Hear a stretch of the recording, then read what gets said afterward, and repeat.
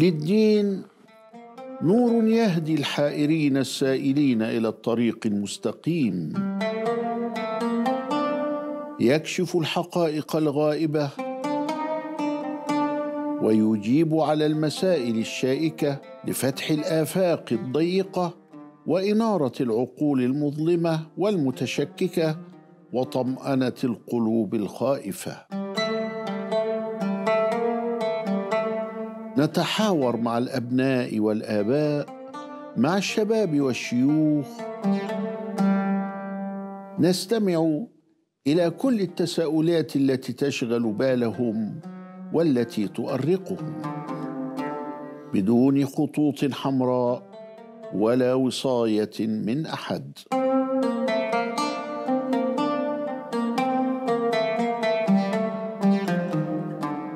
حتى نصل معا إلى نقطة التلاقي.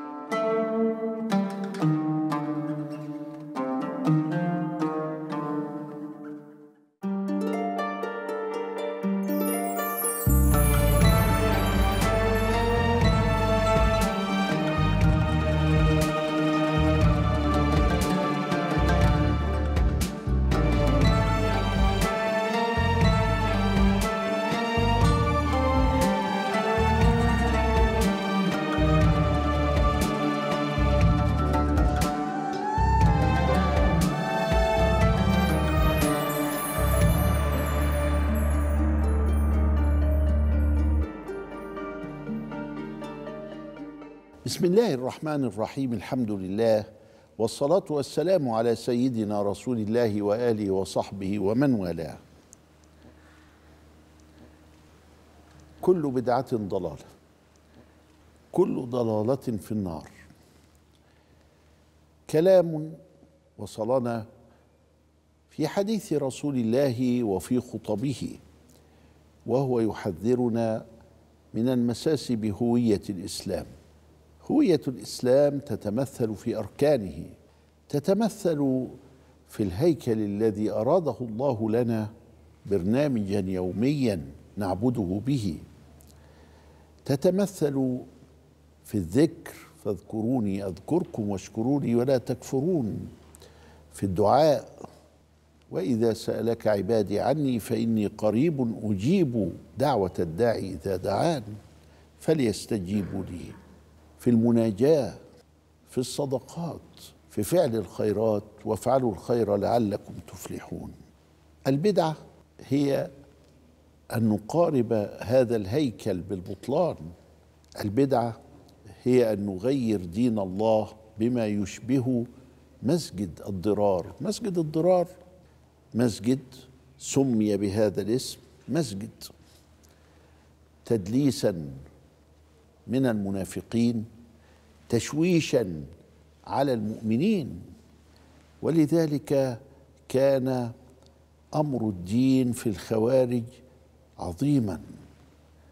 يقول رسول الله الخوارج كلاب أهل النار بالرغم أنهم يشهدون الشهادتين وأنهم يقيمون الصلاة حتى قال فيهم تحقرون صلاتكم إلى صلاتهم وصيامكم إلى صيامهم. طوبى لمن قتلهم وقتلوه لأنهم يريدون أن ينقلوا صورة معكوسة للإسلام الذي أمر بالرحمة وبدأ بالرحمة وعاش بالرحمة ونبيه نبي الرحمة.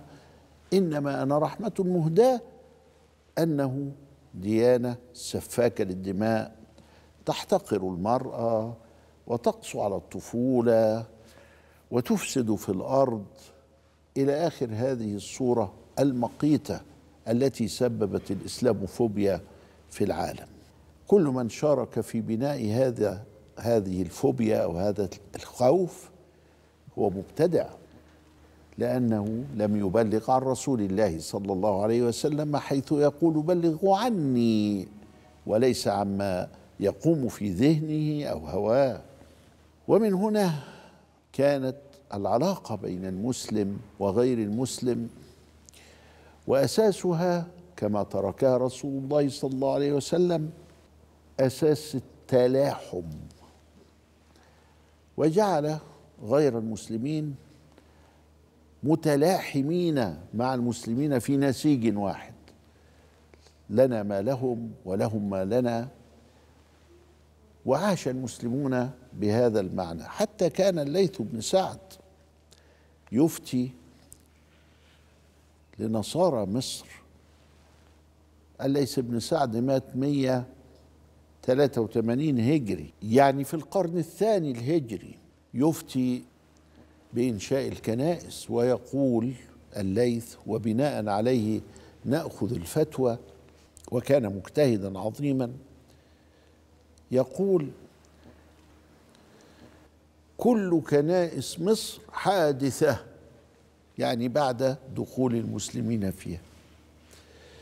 لم يكن هناك كنائس موروثة لأن الرومان ضيقوا على المصريين جدا. قسطنطين عندما دخل المسيحية انحرف بها.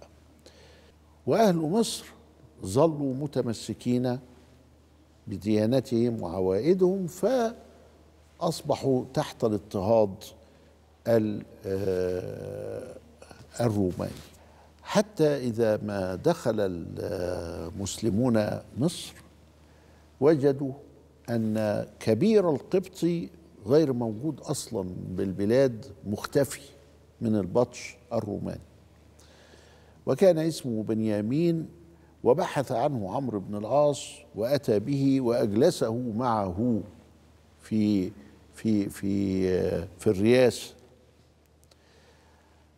وأمن المسيحيون في مصر.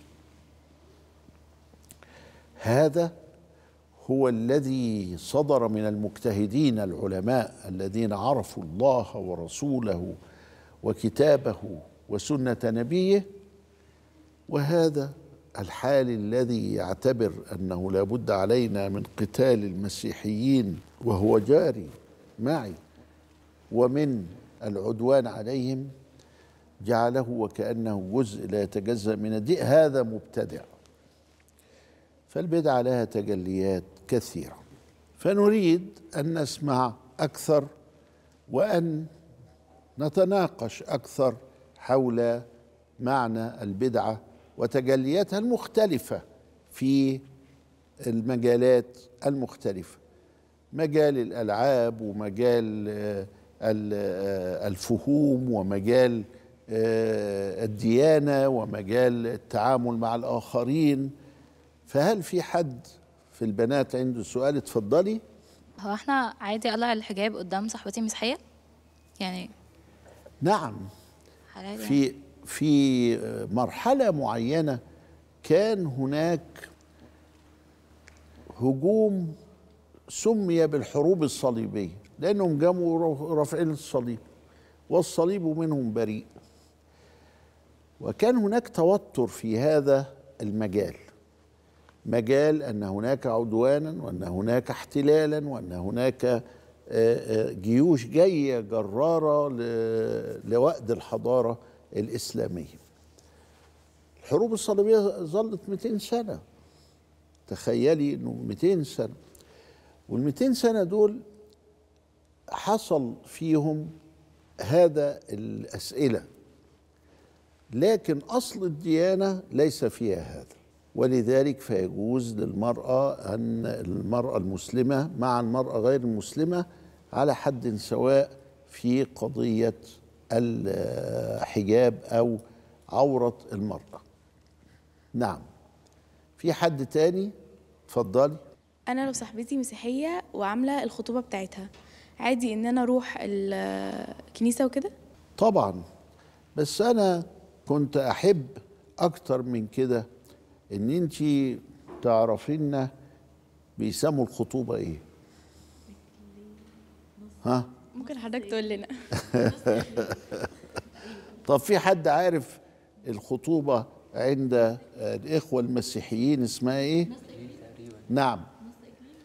نص إكليل ولا بقى مليون؟ طيب يبقى إذا تبحثوا في الحاجات دي. يعني مش محض فقط إن أنت تروحي تهني صاحبتك بالخطوبة بتاعتها وكذا.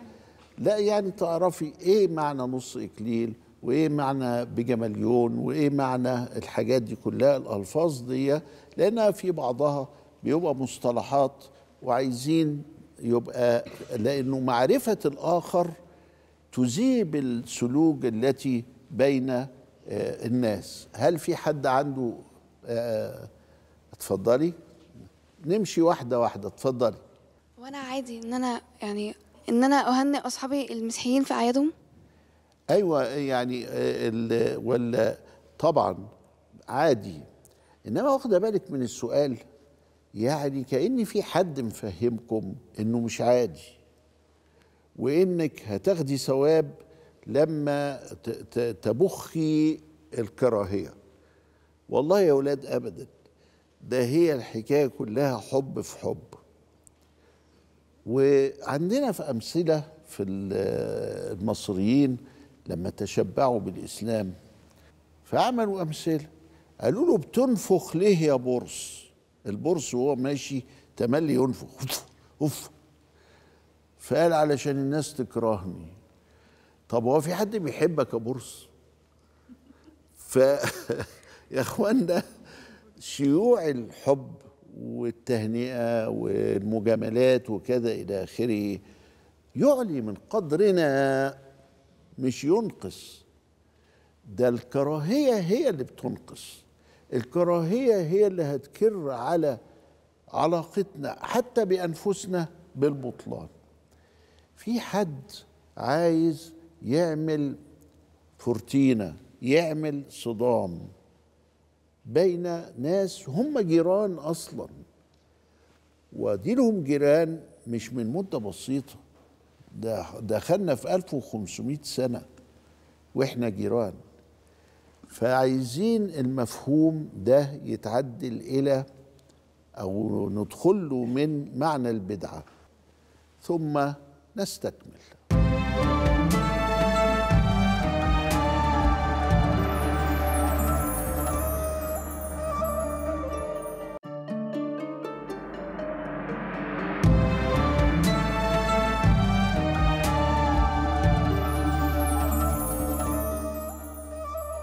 بسم الله الرحمن الرحيم. أيضا مما آه، يسأل عنه في قضية البدع من عدم البدع قضية يثيرها بعضهم حول المقامات لأولياء الله الصالحين ولعلماء الأمة. عندنا في مصر مزية هذه المزية تتمثل في وجود أهل البيت الكرام. سيدنا الحسين موجود في مصر السيدة زينب موجودة في مصر السيده سكينة السيده فاطمة النبوية السيده حورية في بني سويف وهكذا. والله سبحانه وتعالى قال قل لا أسألكم عليه أجرا إلا المودة في القربى يعني النبي ما خدش مننا لا أبيض ولا أسود. لكنه لابد علينا من أن نحب آل بيت الرسول صلى الله عليه وسلم. المصريون استوعبوا هذا وأحبوا جدا أهل البيت أحبوهم جدا. السؤال هو بناء المساجد على المقامات وزيارة المقامات مش بدعة؟ آدي السؤال اللي بيتلعب بيه كثيرا لأن هذا السؤال لم يكن موجودا قبل 200 سنة ما كانش موجود. والإمام البيضاوي صاحب التفسير وهو من أهل القرن السابع الهجري يقول وبناء المساجد على أضرحة الأولياء من أقرب القرب يعني من أهم الأعمال الصالحة. الإشاعة اللي طالعة إن الناس اللي بتروح تزور سيدنا الحسين والسيدة زينب ويروحوا يزوروا آل البيت لأنهم بيحبوهم تركت فيكم ما إن تمسكتم به لن تضلوا بعدي أبدا. كتاب الله وعترة أهل بيتي أخرجه الترمذي. فإحنا بنطوع ربنا إلا المودة في القربى وبنطوع سيدنا وبنحب آل البيت وبنروح نزورهم. إني كنت زار... نهيتكم عن زيارة القبور ألا فزوروها؟ فإنها تذكر بالآخرة. فعلا الواحد لما يدخل عند سيدنا الحسين أقول الله إذا كان سيدنا الحسين بجلالة قدره استشهد ومات وانت يبقى الواحد يا سبحان الله ونقعد نتذكر الآخرة كما أمر رسول الله صلى الله عليه وسلم. يبقى مش بدعة قال لي لا يعني هو في في الكتاب والسنة حاجة اسمها المساجد تبنى عن قبور وعمل لي كده. قلت له آه في. قال إزاي؟ إزاي؟ هو ربنا يأمر بالشرك. شوف شوف شوف شوف. قال لا لا لا. أنت خليته خلاص شرك من عند نفسك. أنت مبتدع. هو أنت فاكر روحك إنك أنت فاهم حاجة؟ طيب يلا نقرأ القرآن. نجد حاجة غريبة قوي قال الذين غلبوا على أمرهم لنتخذن عليهم مسجدا. ده في القرآن. ولما نروح في فيلادلفيا في الأردن مطرح ما دفن فيهم أهل الكهف نلاقي في مسجد فوق. الله صدق الله وكذب المبتدع. طب ده في القرآن بيقول كده. ولو كان شرك كان ربنا سبحانه وتعالى أقره وذكرهن يعني لو كان شرك. طيب أخرج موسى بن عقبة في السيرة. موسى بن عقبة في السيرة طبعت الحمد لله ما كانتش مطبوعة الأول وكانوا يقولوا لنا فين الكلام ده؟ طب هو اتطبعت أهي علشان يبقى تحت إيد كل واحد. أن أبا بصير أبا بصير ده أسلم وفي صلح الحديبية اتفقوا بين وبين النبي إنه لو أسلم حد مننا تجيبهن تردوا علينا. إذا أسلم حد ارتد حد من عندك خلاص ما نردهوش. أنا من اللي ارتد من عندي مش عايزه. وامري لله في اللي بيسلموا وما اناش عارف استقبلهم هو كله ده عايز ي- يفك الكماشة اللي هي تحت اللي في الجنوب دي لأنهم متفقين مع خيبر إنهم يعملوا كماشة عليه في المدينة. فراح أبو بصير عمل فرقة صعقه تخليص آه، مهام خاصة وبقى في سيف البحر. سيف البحر يعني الشاطئ بتاع البحر اللي هو جدة. وبقى يقطع على المشركين القوافل بتاعتهم المشركين زهقوا. الله دي خسارة. بعتوا لسيدنا في المدينة قالوا له الله يخليك يا محمد خد الجدع اللي اسمه أبو بصير ده خلينا ربنا يكفينا شره. فالنبي بعت لأبو بصير كتاب بيقول له فيه يا أبو بصير لم الجماعة بتوعك وتعالوا لي في المدينة فرجت والمشركين خلاص وافقوا على البند اللي إحنا متفقين عليه. شوف الوفاء بالعهد. فلما جاء الكتاب من عند سيدنا كان أبو بصير طالع من معركة ومضروب ضربتين بالرمح وبيموت. فنظر إلى الكتاب ووضعه على عينه ففاضت روحه. قال موسى بالسند الصحيح المتصل فدفنوه في سيف البحر وبنوا عليه مسجدا. عيب عيب لما هؤلاء المبتدعة يردوا على علماء الأمة. عيب. يقول لك طيب ده انت تروح لسيدنا الحسين تلاقي الناس بتعبده من دون الله. يا كذاب الناس بتعبد سيدنا الحسين من دون الله؟ دول بيقروا الفاتحه دول بيدعوا له. يبقى إزاي هي- هيعبدوه؟ دول بيقولوا يا رب لا تحرمنا أجره ولا تفتنا بعده واغفر لنا ولا. عيب عيب الكذب إنه يفضل يشيع لغاية الناس ما تصدقوا وكأنه حقائق. بدعة ده أهو ده بدعة صحيح. عايز كده آخد سؤال ولا سؤالين؟ طب اتكلم اتفضل قدامك. هل يجوز إن أنا أقرأ كتاب أو قصة بتتكلم عن الإلحاد أو أي ديانة تانية؟ لو أنا يعني مش مؤمن بالكلام ده بس بقرأه من باب الاطلاع. إحنا بنقرأ كل حاجة. اللي يتعلق بالإلحاد واللي يتعلق بالفساد واللي يتعلق بقلة الديانة وقلة الأدب وكل حاجة نقراها. إحنا ما نخافش من حاجة. الأمور لازم تكون واضحة قدامي. وإذا كان في حاجة فيما قرأت عملت إشكال ولا سؤال نسأل نشوف نروح نبحث عن الحقيقة لكن قضية إن أنا أخاف من الخوف وما أقراش ده ولا أعمل ده لا القضية إيه؟ القضية إنك أنت في زمن تحتاج أن تكون عارفا وعالما بحقائق الأشياء. فقد يكون هذا الاطلاع اللي أنت بتتكلم عليه في غاية الأهمية. وقد يكون هذا الاطلاع لذلك الكتاب اللي فيه آراء الحادية أو كذا سببا في هداية الكثير. ولكن عندما تقرأ هذا اقرأه بعين ناقدة. مش بالمتلقي مش هو بيلعب بيك انت وبس وخلاص لا. أنا أقرأه أفهمه أنقده أرد عليه أو أسأل عنه. وهكذا رأينا أن تحرير معنى البدعة أمر مهم للغاية.